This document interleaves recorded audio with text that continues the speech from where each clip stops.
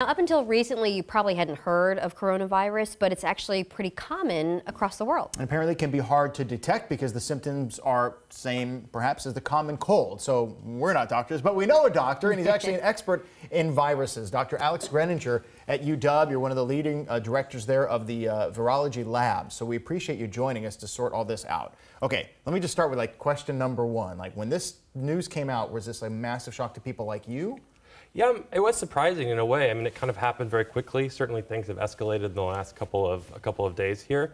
Um, I think there've been a lot of people who've been interested in new coronaviruses, but we really only had SARS and MERS to speak of in the last like 15 years other than the four common coronaviruses which you were talking about. Right. Which is a good thing that we only had the mm-hmm. SARS and MERS, right? You don't yes, want to see absolutely. them. Yeah. But what exactly makes something a coronavirus? Because it's a new coronavirus, right. correct? So what does that really well, mean for folks? So coronaviruses were first found in the 1930s and then like seen physically in like the 1960s and 70s, where they had this sort of like solar corona around the outside of the virus. They had these very large spike proteins that they could see, and that's why they got the name.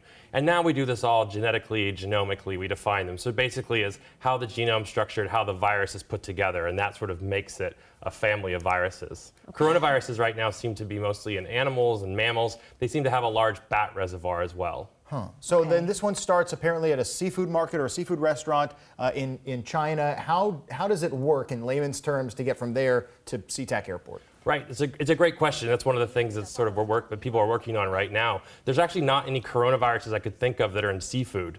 Um, so it could be like a bat roosting in the seafood market or other wild animals. You know, back in the day with SARS in 2002, 2003, it was in a bat reservoir and then got passed to a palm civet and a raccoon dog in a wild animal market that then made the jump to people. And so we really don't know, you know, what the reservoir is. That's something we have to work on to figure out. But right now, it seems like it was just sort of this sort of one-off event where it went to people, and now it's it's sort of passing in people. That's our current best model of what's going on. Interesting. Can we get to some viewer text messages that have been coming in?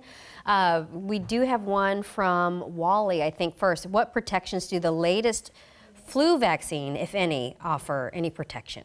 Well, the, the, the flu vaccine this year is, is you know, reasonably good um, for the flu, for influenza. The flu vaccine itself is not going to help for the sure. coronavirus. It's a completely different virus. Um, so, but you still should get the actually the best thing you can do for your health and well-being and that of others is to get a flu vaccine if you haven't had one already. And going back to the coronavirus real, real quickly, uh, how scared should people be?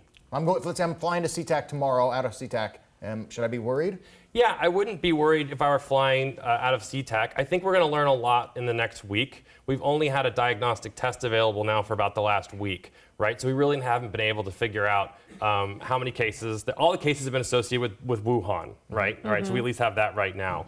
Um, but we don't, uh, there's still a lot to learn about where this virus is. It certainly seems to be spreading in China um, effectively right now. We have another viewer question from Anna. She wants to know how long is the virus active in the area after the infected person leaves?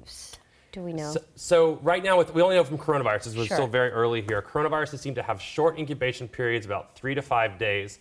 Um, with SARS, though, which is our best analogy right now, we're just sort of reaching here because we don't really know. Um, it, the viral levels in a person actually peaked about 12 days after they started having symptoms. The good news with SARS is that people weren't really infectious. They couldn't transmit the virus unless they had uh, symptoms, right? So you had less asymptomatic transmission. And then with SARS, we actually kept people for uh, 10 days after they were finished having symptoms. Mm -hmm. So the amount of time, I mean, we, we didn't have any cases really in the United States, but in China and in, in, Canada, they kept people for, you know, two to three weeks. All right, we have a lot more questions to get to, both from us and from the viewers. We are glad you're going to stick around for another hour. Sure. We're going to ask Thank you again in, in an hour from now. Dr. Alex Greninger from UW, we appreciate your insight here on King 5 Mornings.